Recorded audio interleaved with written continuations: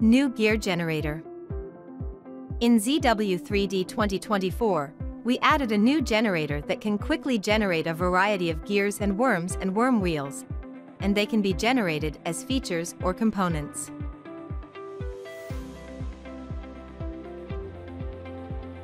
Take the external meshing gears as an example.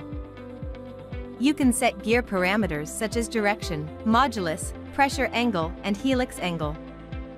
And choose whether to generate as a feature or component. Switch to component here. Choose whether to generate a single or double gear. Check Gear 2 here to generate a double gear. And set the tooth number, modification coefficient and tooth face width. Then you can see the gear mechanism generated. Meanwhile, the gear node generated can be seen in the assembly management.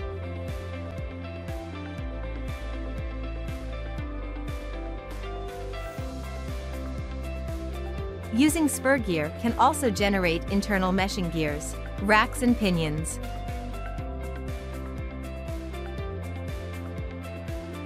This is a bevel gear. The required mechanism can be generated using the worm and worm wheel generator. In the dialog box, set the result type as component. Set the insertion point, direction, modulus, pressure angle, and other parameters.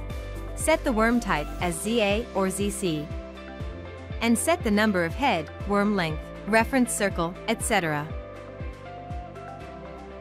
Check Create Worm Wheel to generate a worm wheel. Set the tooth number, modification coefficient and face width of worm wheel. After that, the worm and worm wheel mechanism is generated, and the corresponding node is generated in the assembly management.